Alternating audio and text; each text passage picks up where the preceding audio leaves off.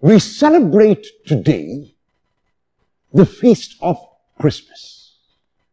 Christmas is the birth of Jesus and celebrated every year on the 25th of December. The reason why I deliberately used the term the birth of Jesus and not the birth of Christ is because I want us in our reflection today to focus on the human Jesus. How did the nativity take place? In a very summary form, when God looked down at God's beloved earth, God saw that things were not as they were meant to be. And so God the Father had a discussion with the Son and the Spirit. And in their discussion, they decided that after all that they had done in the past, like sending prophets, like sending kings, like sending messengers, like sending blessings, nothing seemed to have worked. Now, there was only one way, a radical way, a revolutionary way, an out of the box way in which God could intervene in history. And this way they chose was the incarnation. The incarnation was the way God realized that God could be exactly and totally and completely human and so understand exactly what human beings go through. Choosing the incarnation meant a number of things, but for our reflection today, I will choose four meanings of Christmas, four meanings of the incarnation. And the first is the total disponibility of God. The word disponibility might be translated availability, but goes much beyond availability, you might say. By being disponible, God made himself vulnerable. God in Jesus remained in the womb of his mother for the normal gestation period of around nine months. And even as he remained in the womb of his mother, he was vulnerable. By choosing that way, God was telling the world that he wanted to be as vulnerable as every human being is. If such is the case, and if this is the method which our God chose, how can we ever be frightened of such a God? Our God made himself weak. Our God made himself vulnerable. As the letter to the Philippians says, he never counted equality with God as something to be grasped, but emptied himself, taking the form not only of a servant, but even going to the depths of a slave and death on a cross. In other words, our God in Jesus was vulnerable. Our God in Jesus was weak. Our God in Jesus was totally, completely, in every sense of the word, human. Could God have chosen another way? Definitely. Could God have chosen to intervene through another method?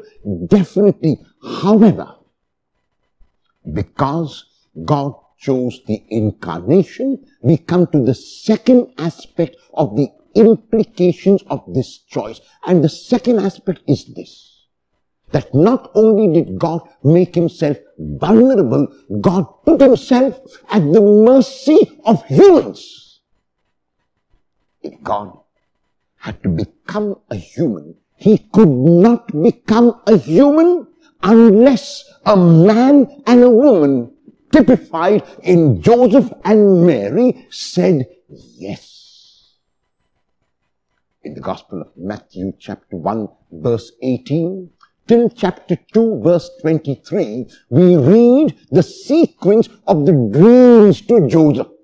And in the first dream, he is told to take the pregnant woman Mary, with whom he has had no relations as his wife, and to accept the child as his own and be the foster father of the child. In the second dream, he is told to rush with the child and the mother and go to Egypt. And in the third dream, he is asked to come back to Nazareth only so that God's plan, God's will will be fulfilled. And in all of these dreams, when Joseph arises, his response to God is, Your will be done. In the Gospel of Luke, chapter 1, verses 26 to 38, the angel Gabriel makes the announcement to Mary. And Mary's response is only as Mary can respond, not simply a yes, not simply I will cooperate with you, not simply I will join forces and collaborate with you. Mary goes beyond that when she says, let it be done to me according to your word. Mary expresses what may be termed as a passive activity or an active passivity. In other words, Mary will let God take the initiative. Mary will let God take the first step. Mary will let God do in her and through her because she knows that if it is God acting in her, she will be much more efficacious than if she acts on her own. And so Joseph and Mary, who represent the human response, were absolutely imperative and necessary for God to come into our world. If Joseph had said, no, I cannot be the foster father. If Mary had said, no, I cannot bear the child of God, the incarnation would not be possible. In other words, the second point which we have to reflect on is this, that we as humans have the power to bring Jesus into the world. Whenever we say an enhancing yes, whenever we reach out in love, whenever we are selfless, whenever we are a little less selfish than we can be, it is at that moment that God is born because then our response is just like the response of Joseph and Mary. The third aspect for our reflection is this humanity of Jesus very clearly, if Jesus remained in the womb of his mother, if very clearly, if he was born from that womb into the world, there is no doubt whatever that he was totally and completely human. However, Jesus did not simply remain human. He revealed to us through his humanity how far we can go as humans.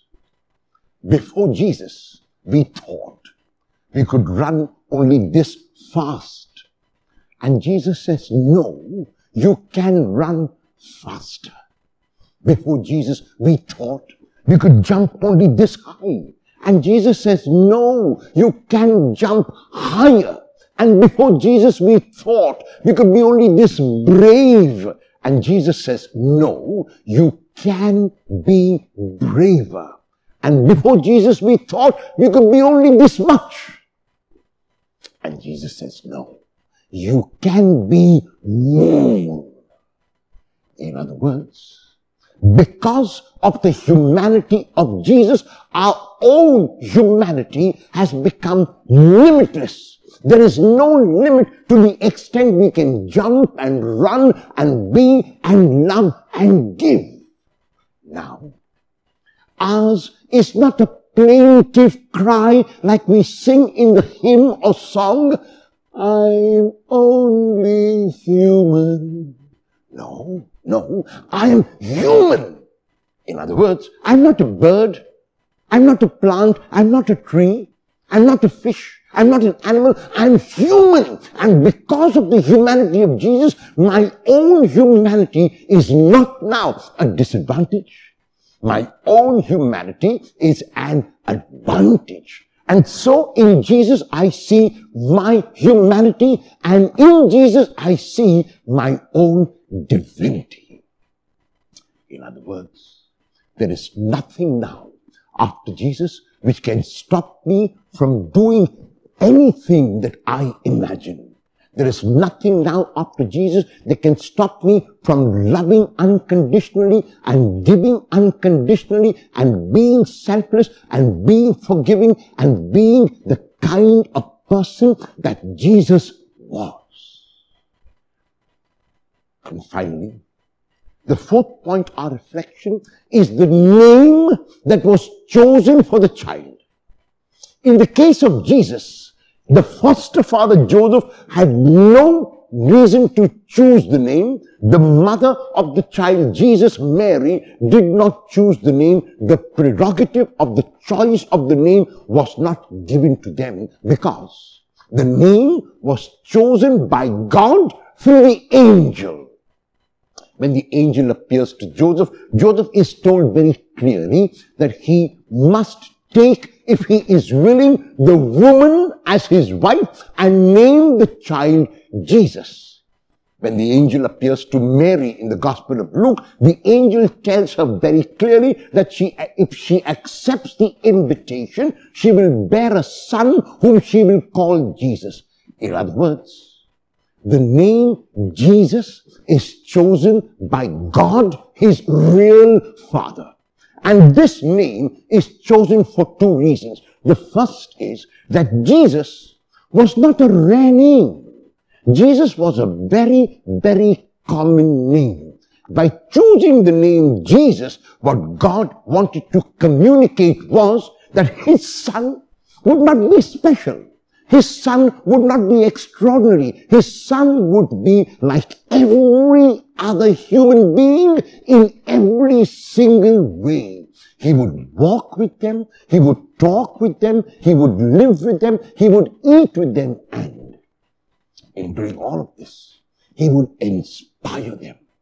He would enhance them. He would boost them. He would build them up. He would show them who they could be. So the common name meant that Jesus wanted to be just like his contemporaries. He did not want to be regarded as special. He did not want to be regarded as extraordinary. And yet, through the way he lived, through the way he walked, through the way he talked, through the way he reached out to people, he showed that even in that ordinary way, he could be extraordinary. He could be special. He could be revolutionary. He could be radical. This is the reason for the choice of the name Jesus. The second reason why God chose the name Jesus is because he wanted people to know the function his son would perform. And the function his son would perform is explained by the name because the name Jesus or Yehoshua or Joshua means God saves.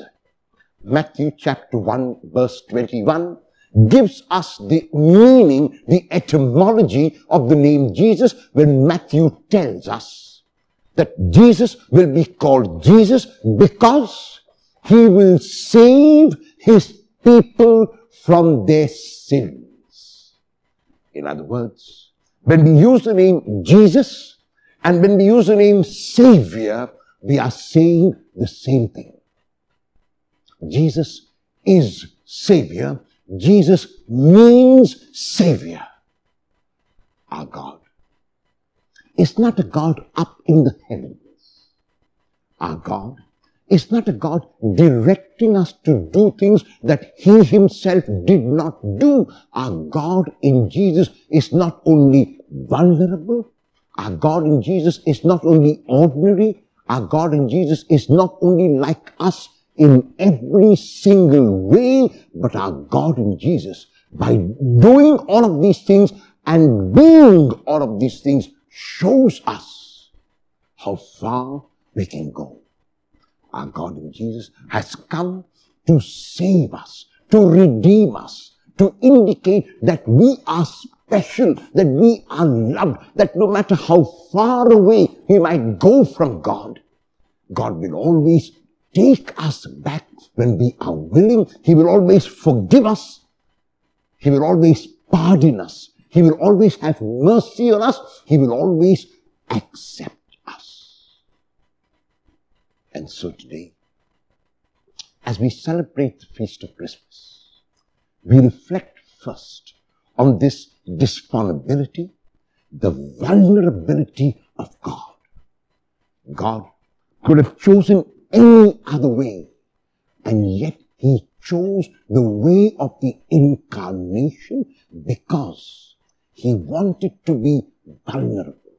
He wanted to be disponible. He wanted to be available to us only as God could be. Our response is absolutely necessary. Our response is imperative if our Savior has to be born again. The response of Joseph and the response of Mary inspires us to keep saying like they did, let it be done to me. We ask God to take the initiative. We ask God to do in and through us because then, like in the case of Joseph and Mary, whatever we do will not merely be efficient, it will also be efficacious. Let us remember that our Lord has shown us that our humanity is now not a disadvantage, it is an advantage. There is no limit to where we can go because Jesus has shown us the way. And even as we reflect on Jesus, let us know that He is a God who saves. Never will be frightened of such a God. Never will we look at such a God in trepidation. We look at this God only in love because He loved us first. A very happy Christmas to everyone.